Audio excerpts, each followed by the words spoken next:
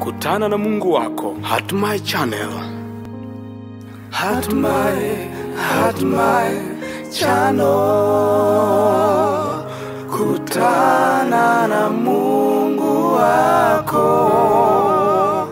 Hatimaye, hatimaye Channel.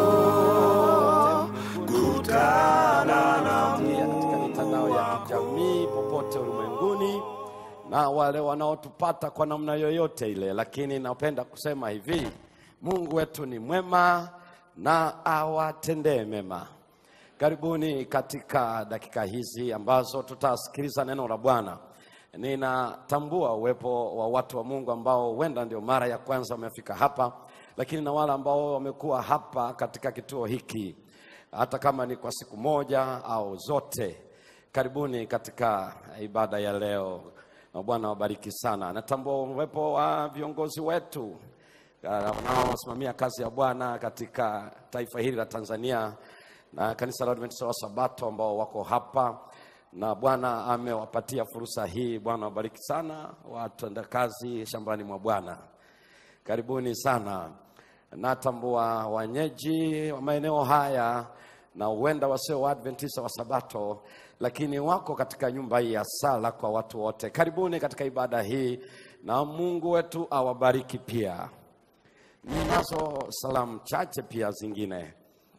Salamu za kwanza ambazo ningeweza kuongezea katika hizi kando na kuwakaribisheni na kutambua uwepo wa watu wa Bwana, tumekuwa tukiunganishwa na viongozi wa serikali katika Jamhuri ya Muungano wa Tanzania na viongozi wa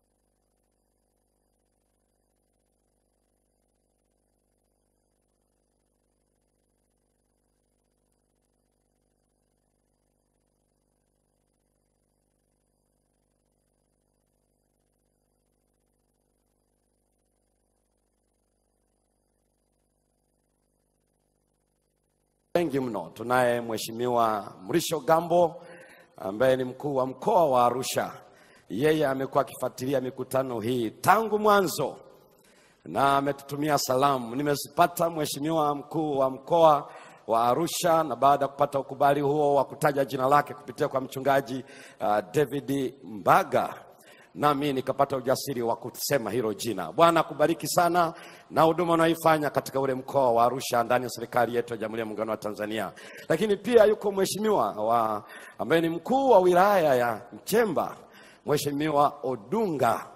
Salamu zako pia tumezipata na ukubali wa kutaja jina lako, na Bwana akubariki sana. Sio tu kwamba anafuatilia mikutano hii yote, lakini ana share linki na watumishi wa Mungu waheshimiwa kila siku. Bwana wabariki sana kwa uwakilishi huo na wale ambao wanatupata viongozi wa serikali yetu, ingawa hatukupata muda wa kupata idhini yako, lakini niweze kusema tu kwamba Bwana awabariki sana. Nina ninao pia nafasi ya muhimu ambayo nahitaji kusema hapa. Najua ametambulishwa mke wangu, lakini muombe aje dakika moja tu hapa, na ni vizuri mfahamu yule mama ni wa thamani sana kwangu. Yesu alinipa huyo mke wangu, anahangaika sana kwa ajili yangu. Wakati fulani anakuwa na presha kuliko presha nilionayo mimi kwa kazi hii.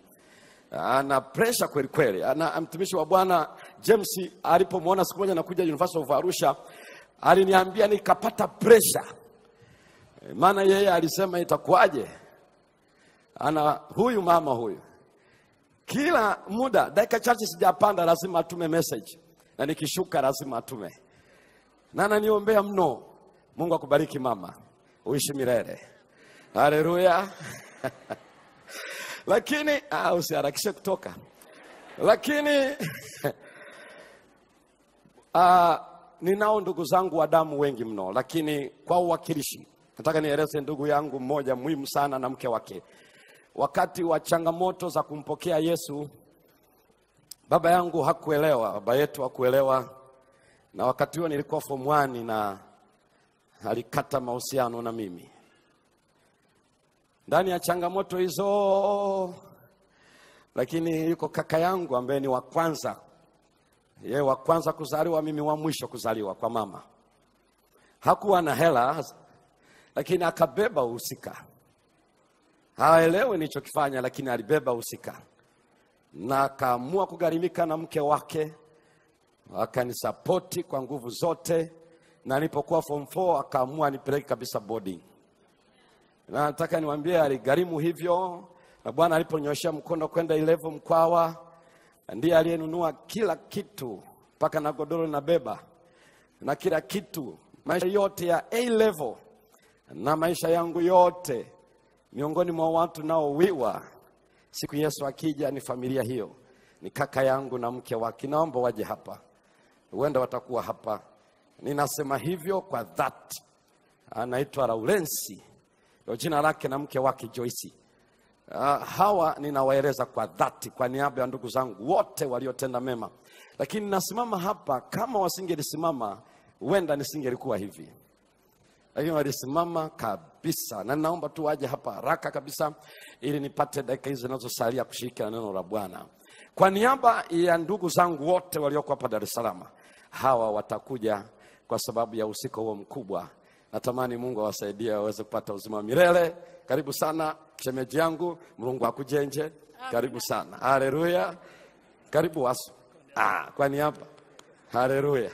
Hawa ninawasema hivyo kwa niaba ya ndugu zangu wote, lakini Bwana atujalie katika safari ya kwenda mbinguni, na leo awapatie manukato bila makato mnapoenda kukaa. Haleluya. Somo la leo lina kichwa kinachosema manukato bila makato.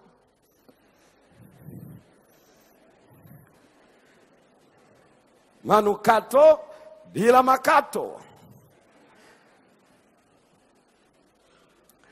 Mungu aliona vema awafanye watu wake wawe manukato yasiyo na makato na kama alivyosoma mtumishi wa Bwana mchungaji Kenani Mwasomola katika lile fungu kuu la kitabu cha Wakorinto ya pili sura ya pili mstari wa kumi na nne hadi kumi na saba tutakuja kusoma baadaye. Hapo ndipo Bwana anataka tuweze kusikia neno lake, manukato yasiyo na bila makato.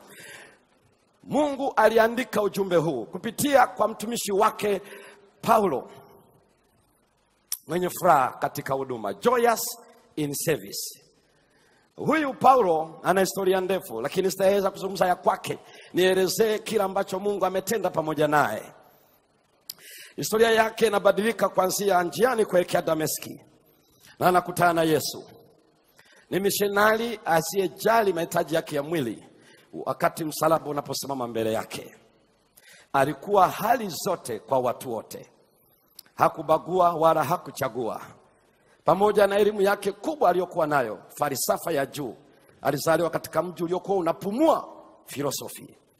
Ukileta mafalsafa wakati huo, mji wa, wa Taso ndio unao mji uliokuwa unapumua elimu ya dunia ile, unapumua elimu ya dunia, falsafa, elimu ya juu. Ndio maana alikuwa anasema mimi nimezaliwa Tarso. Hakusema tu hivyo, lakini alikuwa anawaweka watu waliokuwa wasomi wakae kumsikiliza. Ni kama unasema ninatokea wapi, natokea chuo gani kikubwa duniani hapa ambayo kina sifa. Alipokuwa anasema natoka Tarso, lazima watu wamsikilize. Lakini sio hivyo tu, yeye anasema mimi ni farisayo, mafarisayo, na alisoma chini ya Gamalieli, na Gamalieli alikuwa ndiye mwalimu wa heshima ya juu katika Israeli, ambaye alikuwa ndiye rabai mwenye heshima wakati wake. Alizaliwa akakulia kule Kiritaliso, lakini baba yake alipomlea akaona haifahamu dini ya nyumbani, akampeleka kwa Gamalieli, na Gamalieli ndiye aliyemfundisha, ndiye aliyemwonyesha Torati, ndiye akamfundisha kana kwamba haitoshi, huyu Paulo amekuwa katika mazingira hayo, amejua lugha hizi za dunia, anajua Kirumi, anajua Kiunani, anajua Kiebrania na anajua ibada ya kweli ya Mungu Yehova. Alipokutana Yesu njiani kuelekea Dameski, maisha ya Paulo yalibadilika. Yeye akawa kwa hali zote kwa watu wote, ili msalaba wa Kristo usipate aibu, na Mungu akamtumia akafanya safari ya mishonari kwa mara ya kwanza. Safari ya pili ya umishonari ndiyo aliyofika mji wa Korinto ambao tunasoma fungu hilo kuu katikati ya miaka ya hamsini na tatu kwenda miaka hamsini uh, mwaka wa hamsini hadi mwaka hamsini na tatu. Ndio ndani ya mishonari safari ya mishonari ya pili ya paulo. Alipofika hapo alikaa muda wa miezi kumi na nane pale korinto. Korinto ilikuwa ni mji wa kimkakati strategic city ni mji mkuu wa jimbo la akaia katika dola ya rumi ya kale ilikuwa ndiyo capital city ya province Akaia province. Yeye akafika pale, ule mji ulikuwa ni kimkakati, ulikuwa unaunganisha Ulaya na unaunganisha bara la Asia. Watafanyabiashara wote wanaopita lazima wapite Korinto lakini pia ulikuwa kimkakati, ulikuwa na bandari maarufu sana katika mji huu, karibu na ba- ba- bandari ya bahari yao. Ulikuwa una bandari kubwa, wafanyabiashara wa meli zao walitua Korinto. Korinto ilikuwa maarufu katika ulimwengu wa Rumi ya kale. Sio kwa sababu hiyo peke yake, walifanya biashara toka maeneo mbalimbali walifurika Korinto. Korinto ilikuwa na mungu mmoja maarufu sana wakati ule, aliitwa Aphrodite. Huyu ni mungu, mungu mke wa mapenzi na kulikuwa na, na, na, na, na, na, na, na ibada inayofanyika pale rasmi kisheria iliyowataka wasichana warembo elfu moja kisheria waliokuwa wanahudumu katika hekalu la huyu mungu Aphrodite. Na wanahudumu kwa kitu gani basi? Walifanya kazi ya zinaa, na wote wanaokuja kufanya ibada walikamilisha ibada yao na zinaa kwa hawa wasichana elfu moja kwa huduma hizo si kwamba analala nao wote, lakini anapata mojawapo. Ibada haijakamilika, hajafanya zina nao, lakini ilikuwa na kila aina ya watu toka mataifa mbalimbali, watu wa aina fulani, tamaduni, mataifa yote walipatikana Korinto. Kila aina ya starehe na nasa ilikuwa Korinto, na ni hapo Paulo alipofika akakaa muda wa miaka muda wa miezi kumi na nane na kanisa likasimama kama injili ilisimama pale Korinto, itashinda kila maeneo. Pamoja na anasa zile, watu wakamgemkia Bwana ndani ya miezi kumi na nane. Ni changamoto kubwa kwangu na kwako, popote tunapokaa, bila kujali eh, ugumu ukoje wa mioyo ya watu. Lakini Paulo ametuachia changamoto kubwa kwamba tukisalimisha mbele za Roho Mtakatifu, hakuna mahala Yesu hatashinda. Korinto. Kwa sababu hiyo watu walienda Korinto, wanawambia ninaenda ku Korinto, maana yake naenda kuponda raha, kufanya anasa. Ndani ya safari ya umishonari ya Paulo ya pili, kanisa likasimama. Liliposimama Korinto, baada ya muda Paulo akaondoka, anaendelea na safari, kanisa limesimikwa. Lakini haikuchukua muda, kanisa likavamiwa tena, watu wakarudia utu wao wa kale ndio unaona sura ya kwanza wana changamoto ya kuwa washabiki wa watendakazi ndani ya kanisa mara wengine wa Apolo, mara wengine wa Paulo, mara wengine wa Kefa, mara wengine wa Kristo. Paulo akawahoji, hivi ninyi mlibatizwa kwa jina la Paulo? Je, je nani aliwafia? Ni Paulo ama Kristo amegawanyika? Akawaambia hao ni watendakazi wa Bwana tu, mimi nilipanda, Apolo akatia maji, mwenye kukuzani Mungu. Waniwambie kama kuna ushabiki mbaya sana katika kazi ya neno la Bwana ni kushabikia watu ambao Mungu anawaita kwa kazi yake. Ni utoto wa kiroho, kwa sababu hao wote akina Semba wote walioko hapa, viongozi wa kanisa hili hawajawahi kuwafia. Usifanye ushabiki kwa viongozi wa kazi ya Bwana na watenda kazi, ni utoto wa kiroho. Haleluya! Sijakasirika bado hata ngapo wamekasirika? Haya, Changia mtu analeta ushabiki tu, ashabikia mzee wa kanisa mwaka jana, alafu huyu anasema hapana, kiongozi wa wanaume na wanawake anafanya hivi. Paulo anasema nini? Kitu gani? Kwani hao waliwafia? Mlibatizwa kwa majina yao? Ni watendakazi, wamehudumu, Bwana akawajalia. Hivyo basi tunashirikiana nao wote, maana anayekuza ndo wa muhimu, ambaye ni Mungu. Haleluya! Walikuwa na kesi nyingine, sura ile ya tano Korinto ya kwanza, zinaa anasema kuna zinaa ina viwango vya juu, yaani mtu analala na mke wa baba yake, anawambia mpaka hata uongozi wa kanisa auchukua hatua. Ya kwenu imezidi viwango. Anawambia Wakorinto, akawaeleza chukueni hatua ya nidhamu, mwondoeni mtu huyo, patieni shetani mwili wake wadhibiwe na roho yake iokolewe. Anawatia moyo wachukua hatua katika nidhamu ya kanisa na wakati fulani kunapata changamoto inapokuja kuchukua nidhamu ya kanisa, halafu watu wote wanalia rehema za Bwana. kila wote ni wadhaifu. Unajua, twende pole. Paulo anasema chukueni hatua, hata kama sitakuwepo, roho yangu pamoja na Kristo iko pamoja nanyi. Chukueni hatua ya kuokoa, mpatieni mwili shetani, roho yake iokolewe. Maana yake chukua hatua za kumpatanisha na Yesu. Sura ya sita anawaambia Wakorinto ya kwanza, anawaambia kuwa kuna shida, wanashtakiana ndugu na ndugu kwa mamlaka ya kisheria ya serikali ya Rumi. Akasema kitu gani mnafanya nini? Hamjui mtahukumu mpaka malaika mtahukumu dunia hii kama hamwezi kufanya hatua kama hizi mkahukumu hizi hukumu hizo ndogo mtahukumu wapi watu hao na kwa sababu hiyo akawaambia chukueni hatua ule mstari wa tano akasema ninasema haya ili niwatayarishe. Niwa- kuwatayarisha maana yake mwone aibu. Ndio maana lugha inasema kwa kiunani ninasema mpate aibu. Shame upon you. Nani anasema hivyo? Kwa sababu unapoona washiriki waumini wa kristo wanapeleka kesi zao kwa wale ambao si waumini. Wakati kanisa lina mfumo na utaratibu na vikao vya kanisa paulo anasema aibu yenu. Kama kanisa haliwezi kusaidia kwa mambo haya unashangaa ni mshiriki na mshiriki. Alafu wako kwenye baraza la mahakama. Na kanisa liko hapo. Na wengine wanashangaa wamepishana na mke na mme wanapiga kanzu kanisa unakutana nao mahakamani. Nimepata talaka yangu. Huo wimbo ni mchungu sana. Kwa sababu talaka ni ushahidi wa ugumu wa moyo. Na sifa sahihi ya mauti kama ikutokana na neno la mungu usiimbe talaka ukafikiri ni habari njema.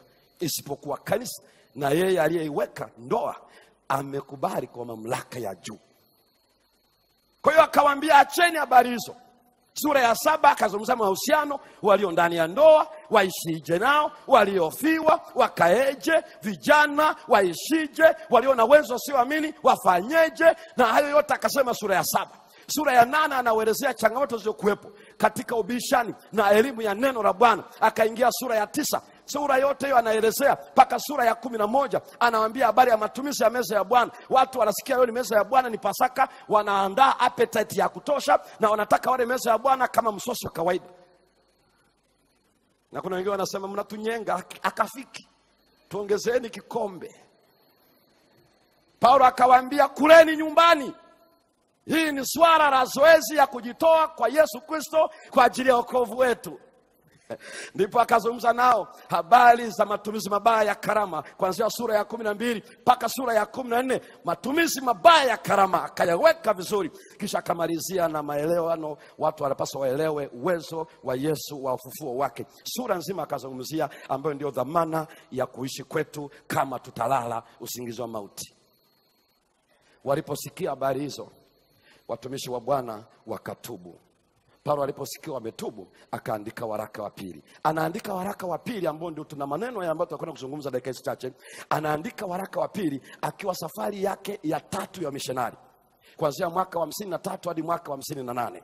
Na anaandika akiwa makedonia baada ya kusikia watu wametubu anamtukuza bwana. Hiyo ni sehemu ya kwanza ile barua. Sehemu ya pili kuna wabishi walioendelea kuleta shida na tena kusema paulo hana haki ya kuwa mtume. Ikabidi aandike maneno haya. Na ndio maana anapoandika maneno haya paulo mungu anamwelezea awaambie waumini bila kujali waliotubu ndani ya kanisa bila kujali walioungama ndani ya kanisa na wale mungu atakaowaita kwamba wataitikia ama wataitikia wajue ni manukato bila makato.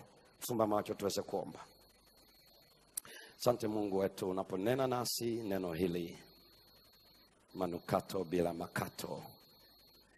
Tusaidie kuelewa kwa jina la yesu. Amina fungua biblia yako katika kitabu cha wakorinto ya pili sura ile wakorinto ya pili ile sura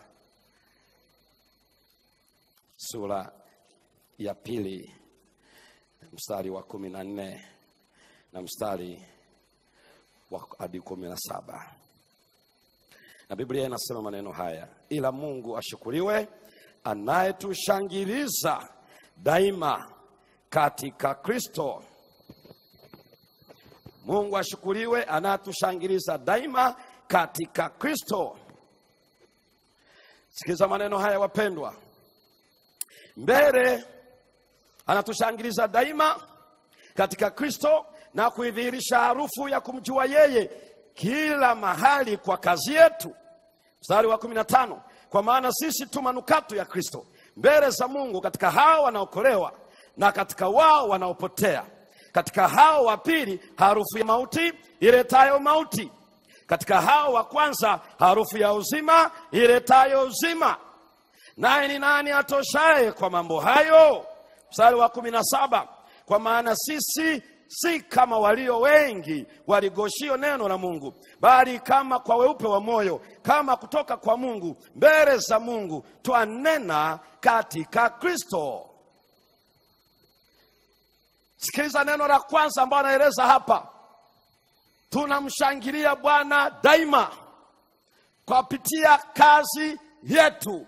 Sikiliza vizuri, shangilia Bwana ili uweze kuelewa katika harufu ya kumjua yeye, tunashangilia daima mbele zake. Hilo neno kushangilia, ili ulielewe, ni wachukue kidogo, muone historia yake. Anapoandika tunashangilia, anamaanisha nini? Maana hilo neno kwa kiunani ni sirambeuo sirambeuo ambao ndo Wayunani Walatini wanasema siram, e, wanatumia neno tramfas ambao Wayunani wanapolitumia hilo sirambeuo na Walatini wanasema tramfas ama kwa Kiingereza triumph.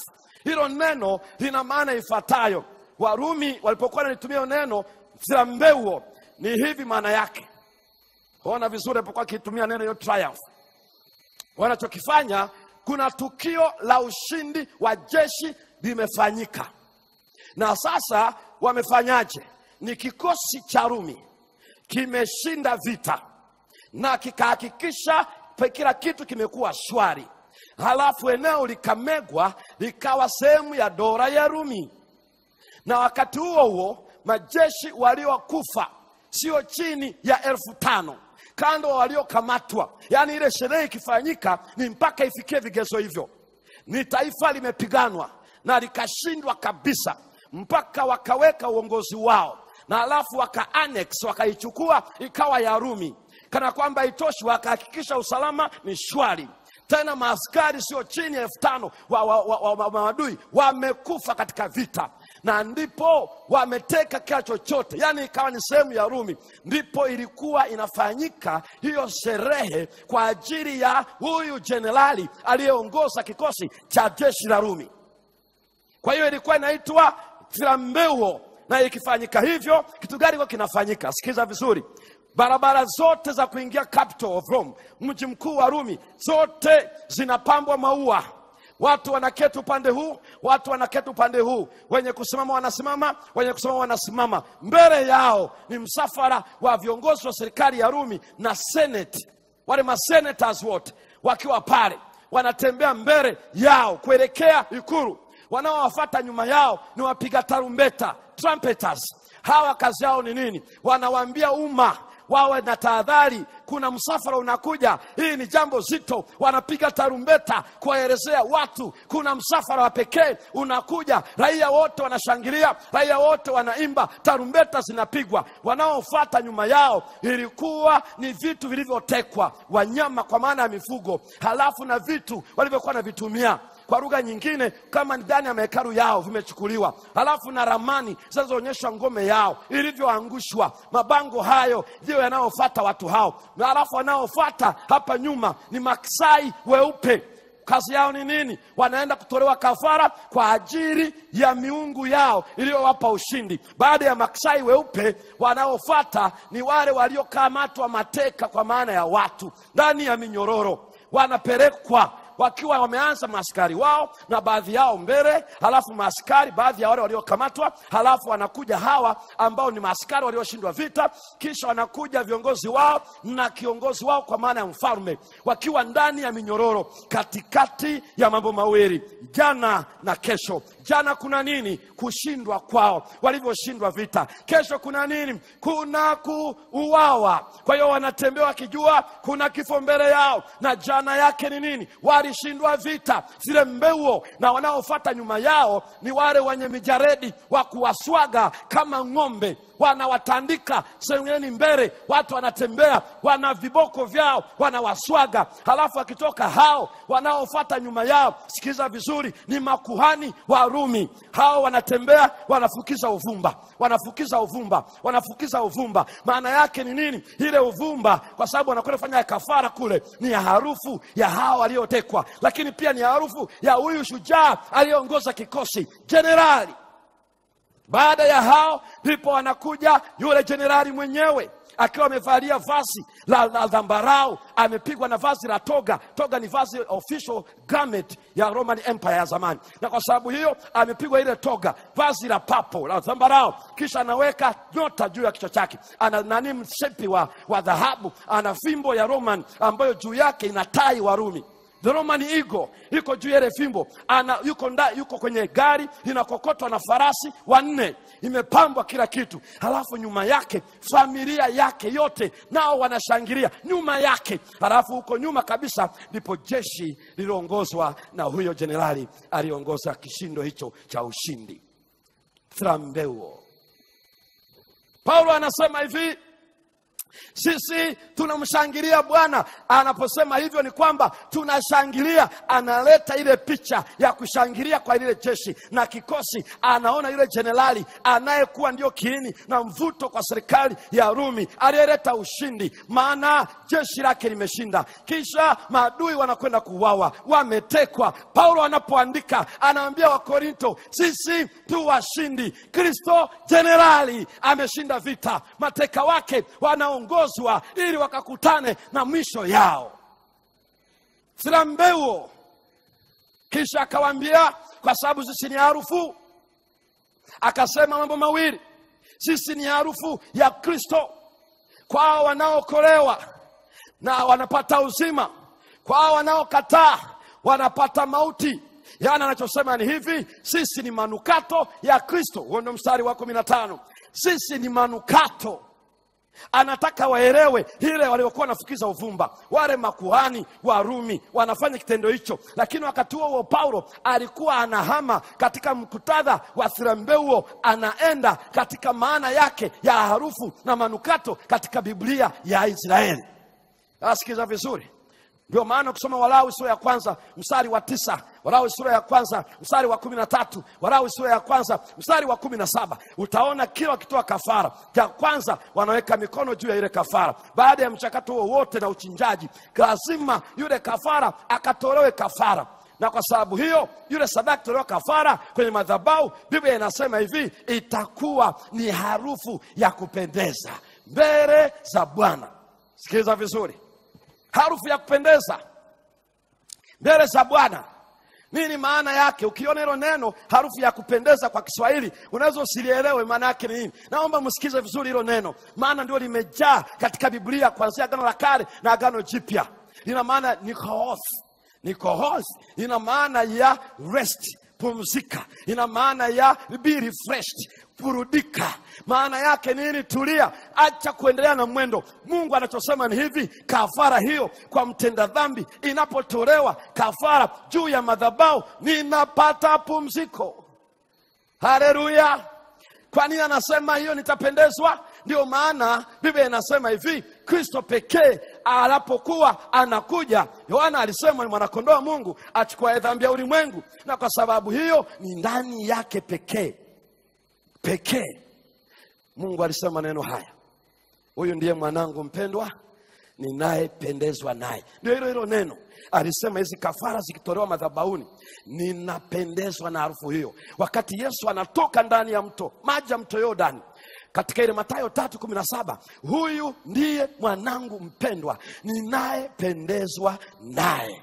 Tafsiri yake ni kwamba katika huyu ninaona harufu, ninapata pumziko, ninapata kuburudika katika yeye. Hapo ndipo ninapata kila lolote ambalo linafanya mwendo wangu wa kuwafuta wanadamu ukome ndani yake. Biblia inasema aliupatanisha ulimwengu na nafsi yake, katika Wakorinto ya kwanza sura ya tano mstari wa ishirini hadi ishirini na tatu Biblia inasema katika yeye Mungu alijipatanisha na nafsi yake, ndani yake Ndio maana unaposoma katika kitabu kile cha Injili ya Yohana sura ya 19 na mstari wa 30, Yesu alipokuwa msalabani akasema imekwisha. Jana tuliangalia kwa umtasari, hakuwa analenga tu kwamba shetani amekwisha poteza, lakini kwa kuna ujumbe muhimu sana, it is finished. Kwa nini maana imekwisha? Sikiliza vizuri maneno haya, neno la Kiunani nasema tetelestai. Tetelestai ina maana ya kwamba paid in full, imelipwa kwa ukamilifu. Haleluya! Tetelestai imelipwa kwa ukamilifu.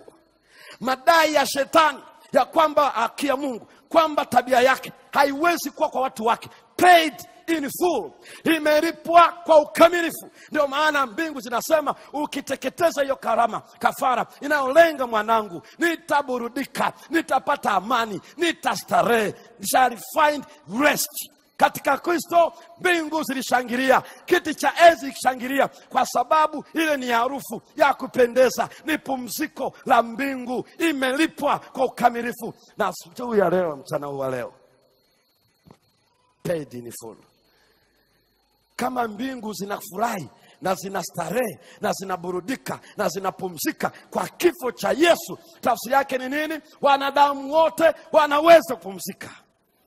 Ndio maana Yesu alisema katika ile Mathayo sura ya kumi na moja na mstari wa ishirini na nane njooni kwangu ninyi nyote msumbukao na wenye kulemewa na mizigo, nami nitafanyaje? You can find rest of your souls in me unaweza ukapata pumziko ya moyo wako katika Kristo, maana Baba anapumzika katika yeye kwa kafara yake, imelipwa kwa ukamilifu. Aromas, sweet aroma. Sauti hiyo anasema, kwa nini anasema ni mawili pande zote mbili? Ni harufu ya Kristo, ni manukato. Kwa nini anasema hayana makato? Sikilizeni vizuri jambo hili la pekee.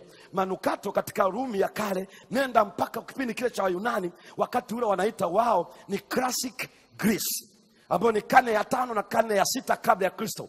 Waliita manukato ule utomvu unaotoka kwenye mti. Ndio maana ukisoma we mwenyewe, ukienda ukasoma utaona katika Ayubu sura ya kumi na nne na mstari wa tisa anaelezea kama shina limekatwa, ule utovu unaotoka katika ardhi unaleta uhai, unachipisha mti. Ndio maana wao walijua, Rumi walielewa, Paulo akatumia lugha hiyo hiyo kwamba ni manukato yanayoleta uzima, kwa maana ya kwamba ule utovu ambao ni harufu ile senti inayotoka inaleta mmea unachipua, hata kama ni jangwani. Wakasema hivi ni nguvu inayoleta uhai, life giving power.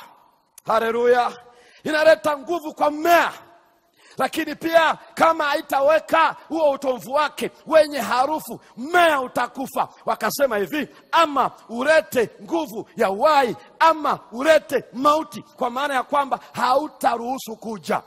Paulo akaleta hiyo, akasema watu wote wanaamini Yesu wao ni manukato. Kwa watakaopokea Injili watapata marashi ya kuokolewa, wasiopokea Injili watapata marashi ya kupotea.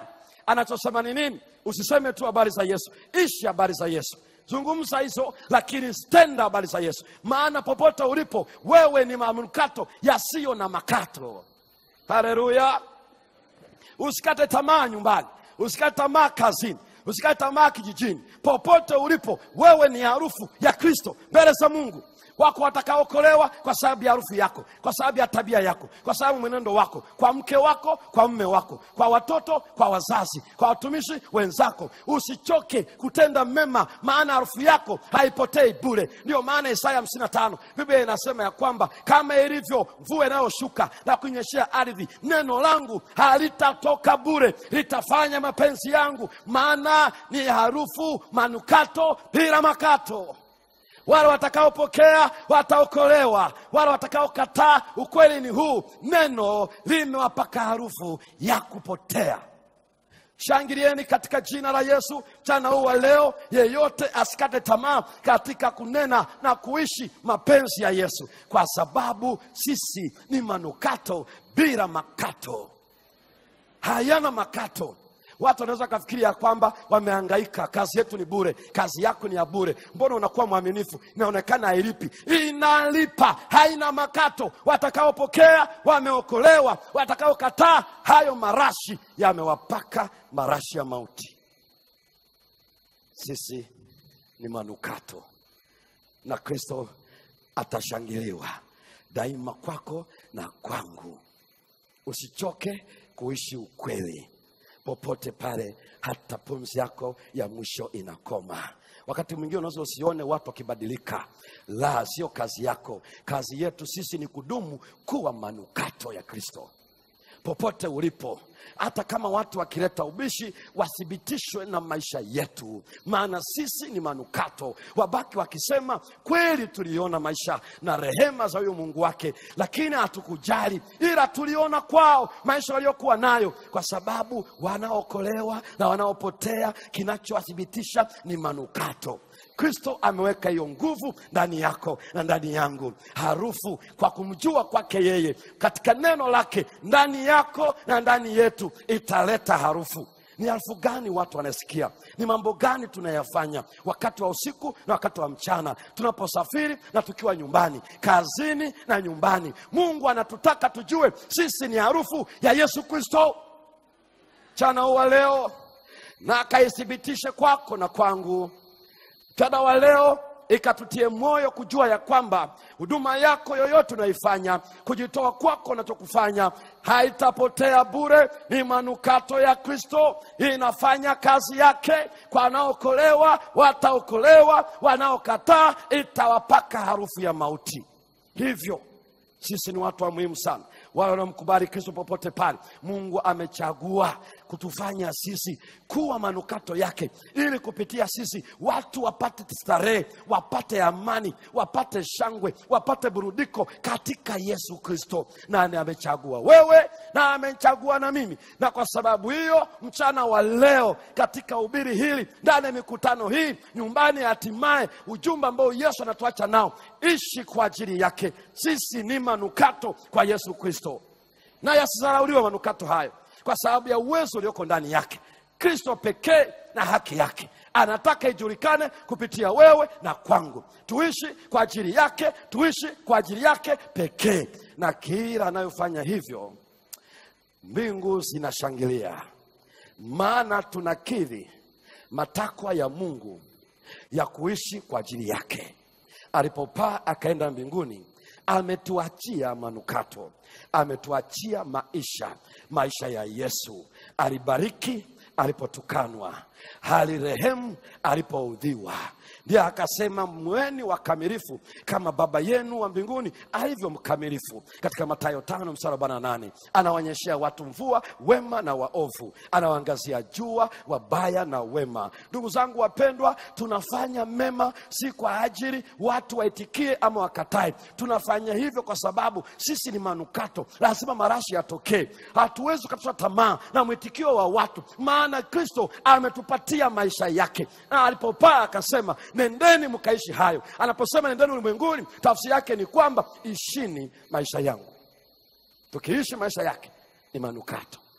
Kama Korinto walitubu, kama Korinto kanisa lilisimama, kama Korinto ibada ya sanamu iliangushwa, watu walieshinda zinaa watu walianza ugomvi wakaachana nao. Kama ndani ya Korinto walijua matumizi mazuri ya karama za Roho, kama ndani ya Korinto habari ya kushtakiana mbele ya wasioamini, watu walitubu wakaacha. Tafsiri yake ni kwamba inawezekana jioni na asubuhi, mchana na usiku, kuendelea kuwa manukato. Mungu ametufanya kuwa manukato hayana makato, kwa sababu ni neno la Bwana. Kumjua kwetu kutadhihirishwa na maisha yetu hapa duniani, tukisubiri kuja kwake mara ya pili. Je, ni shauku yako na nukato bila makato?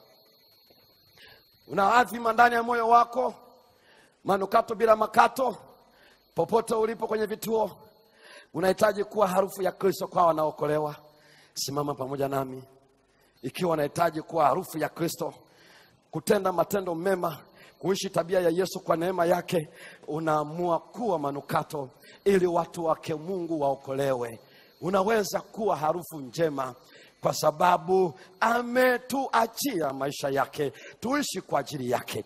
Na hata wale ambao ndio leo wanakwenda kubatizwa na wengine ndio leo wamefika na wanatamani na wao waanze mwendo huo kwa njia ya ubatizo. Watumishi wa bwana popote katika nyumba za ibada na hapa tembeeni tu unasema yesu anza na mimi kwa njia ya ubatizo. Nifanye kuwa harufu manukato bora pale nyumbani kazini yale inayokana siyawezi lakini kwa neema yako unisaidie kushinda nimetambua sisi Isrambeuo tunashangilia mfalme shujaa yesu kristo. Tembea hapo ulipo. Tembea tu hapa mbele. Wale wanaokwenda kubatizwa leo na wale ambao kwa kweli wanaiwa wanawiwa mungu awafanye na wao wawe hivyo. Tembea tu mchana wa leo. Sisi ni manukato bila makato mchana huu wa leo kule katika nyumba ya ibada kule kwenye youtube pasa ungani pamoja na, na mtumishi wa bwana ambaye ni, ni msambo akiwa kule jordan wanatupata kabisa katika kwa njia ya youtube pale mkutano wa gain katika mitandao ya kijamii katika youtube watu wanatupata zaidi ya watu mia saba. Popote pale mlipo toeni maisha yenu. Sisi ni manukato na mwisho tutafanya paredi paredi ya kwenda mbinguni mateka watakapouawa na watakatifu wa bwana wakishangilia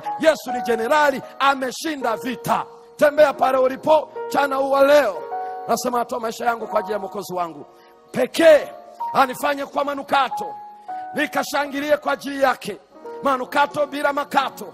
Mungu ana mpango wa kufanya hivyo. Tabia ya yesu haitarudi bure. Itawaokoa wengi watakaokataa itawapaka marashi ya kupotea usichoke kutenda mema mambo mema kwa sababu sisi ni harufu manukato ya yesu kristo. Wewe ni manukato pasipo makato. Tembea pale ulipo katika kwenye vituo kule kwenye nyumba za ibada wanaonisikia tembeeni watu wa bwana. Hata kile kituo cha soba house pale kigamboni wako watu wawili waliojitoa tuliwatembelea katikati ya juma hili na wametoa maisha yao naam bwana wabariki na atawapetea ubatizo huo leo. Hata leo hapa kinyerezi watabatizwa watu wa bwana. Sisi ni manukato. Filambeuo the triumphant parade. Tembea pamoja na kristo. Tunaye jenerali ataendesha gari la vita gari la moto kuelekea ikulu juu mbinguni. Wakati waovu wamepakwa manukato ya kupotea. Waliokiri imani wao watashangilia. Filambeuo filambeuo filambeuo triumph triumph triumph. Ushindi ushindi ushindi. Chana huwa leo. Bwana akujalie akutie moyo akubariki. Uwepo kwenye hiyo paredi kwenye huo msafara wa kuelekea na shujaa wa msalaba yesu kristo. Katika jina lake na kila nafsi iseme amina. Fumba macho. Asante baba kwa kutupatia kuwa manukato bila makato tunapoendelea kushangilia kwa imani tukisubiri ujio wako paredi ile kubwa mbingu zikirindima tusaidie kuwepo. Baada ya kazi hii watu wako wanaendelea kuja kwa ajili ya ubatizo. Wabariki katika jina la yesu amina. Karibuni. Usichoke kuja endelea kuja hapa. Na amani ya bwana ikubariki. Kama bado uko kule nje tembea tu pale ulipo. Tembea. Kama uko pale nje na kwa ajili ya ubatizo huu tembea. Tembea pale ulipo. Mungu wetu akushangilie akupatie nguvu akuongoze. Kutana na Mungu wako. usisahau kusubscribe kucomment au kulike katika chaneli yetu ya youtube. Angalia sehemu iliyoandika subscribe.